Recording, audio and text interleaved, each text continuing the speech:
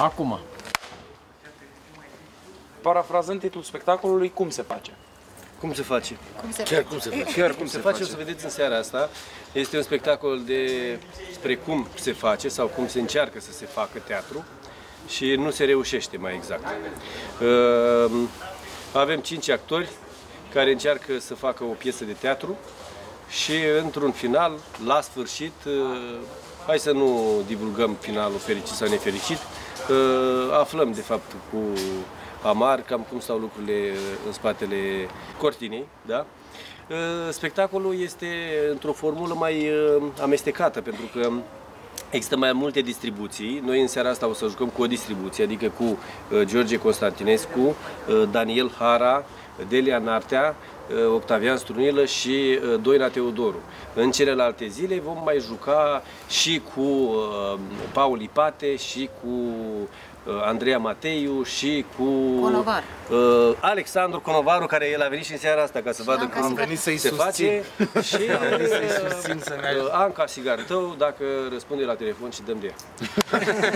Asta era următoarea întrebare, că am înțeles că sunt patru distribuții și Sunt fiecare patru va juca distribuții, pe eu nu mă schimb pentru că sunt regizor și eu joc în toate spectacolele, uh, dar pe ei am mai schimb așa, că nu prea au, uh, Da, se au plictisește. programul încărcat. Da, da, da. Eu am repetat uh, bă, bă, scurt, dar intens pentru acest uh, rol uh, și uh, structura spectacolului fiind uh, Atipică. atipică, uh, îți lasă loc foarte mult să te, să te joci. Lucrurile nu sunt uh, fixate ca într-un uh, spectacol clasic. uh. Chiar vorbeam mai devreme cu domnul Sturin aici de față, care știe, este și autorul textului, și regizorul, și uh, Da, joc, personajul principal. Și Uh, Spunea manager. că este, o, și într-adevăr este un...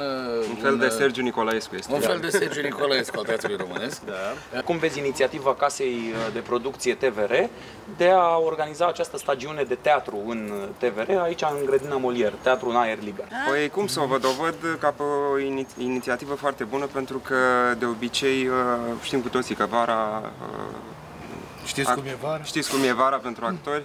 Inițiativa este nu o lăudabilă, ci uh, foarte bine primită de actori, dar cred că și de, pu- de public, pentru că era aer liber și e un alt fel de teatru. Adică te simți cumva că ai ieșit în oraș, uh, vezi un spectacol de teatru și încurajez, pentru că există o clădire în spate, din ce am văzut, încurajez să se meargă mai departe cu teatru în TVR, pentru că eu cred că se poate face teatru în TVR și în interior după ce se termină vara. Formula funcționează și funcționează de ce? Pentru că este o comedie de calitate, nu exagerez, chiar nu vreau să îi pun în auz nimic. Da, Așa, băiatul ăsta este extrem de talentat și Mulțumesc. uh, este un uh, tip de umor inteligent. E o atmosferă plăcută, adică locul te cheamă la teatru uh, și uh, într-o seară de vară eu cred că e, adică cred că e un lucru bun să ieși din casă și să Eu vii și la eu cred teatru. că e un lucru foarte bun și mai e un lucru important. Dacă cumva vă e frică că va fi foarte cald, că va, trebui, va bate soare, nu bate, că uitați ce mi-am luat pălăria asta ca prostul. E umbra aici, e plăcut. El e învățat Suntem să între meargă la copaci. tenis mai Suntem între mult. copaci, Da, da, da, da, El, foarte el, bine. el Cum? se crede. Da, Da. E, e, e foarte plăcut aici, după cum vedeți, e chiar foarte plăcut și spun așa, cred că ar trebui să vedeți măcar o dată uh, cum arată teatru în grădina Molière la TVR, pentru că altfel o să ratați o experiență extraordinară. Teatrul merge și vara pe răcoare.